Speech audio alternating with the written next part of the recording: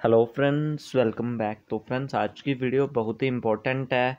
जो भी आपके डाउट्स बन रहे हैं, वो सभी मैं इस वीडियो में क्लियर है। जो करने वाला हूँ तो बहुत ही इंपॉर्टेंट रहने वाला है। जितने भी जे K S S P aspirant हैं तो सभी के लिए एक शॉकिंग और बिग अपडेट है।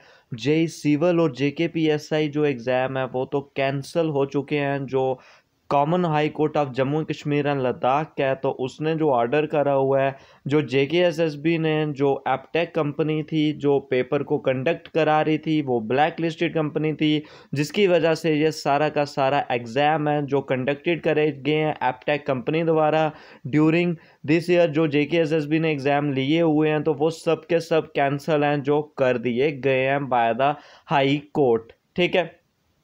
अब बात करें एग्ज़ाम कैंसिल या पोस्टफोन देखिए, जो एग्ज़ाम हो चुके हैं तो वो अभी तक जो कैंसिल हैं, वो कर दिए गए हैं, ऐसा बोला जा रहा है, जो हाई कोर्ट का नोटिस इशू किया गया अब बात है, जो कल का एग्ज़ाम होगा या नहीं तो जे एस एस बी इस तरीके से कर रही है कि पहले एग्ज़ाम ले रहे हैं, फिर कैंसिल कर रहे हैं, यानी कि एक मॉक होता है, जैसे हम ऑफिशियल मॉक दे रहे हो, ठीक है? इस तरीके से कैंडिडेट को लगातार डिमोटिवेशन जो मिलती जा रही है और कुछ एक मतलब कि वो बिलीव करके कुछ प्रेपरेशन करते हैं, इतने मतलब एफर्ट्स लगाते हैं, अपना वर्क छोड़ते हैं, फिर लास्ट में उनको ये सब देखना पड़ता है। अब पिछले ईयर से इसका प्रोसेस चल रहा है, मार्च में पहले एग्ज़ाम हुआ था, अब दिसंबर में एग्ज़ाम होने लगा तो फिर वो भी कैंसिल जहाँ पे हो चुका है। उससे पहले भी इसी तरीके के किस्से जो जम्मू एंड कश्मीर में सामने आए हैं तो इस तरीके से जो भी कंपनीज़ हैं, जो भी सरकार है, जो भी एजेंसीज हैं, वो इस तरीके से अगर करेंगे तो कैंडिडेट लगातार डिमोटिवेट जो होता जाएगा।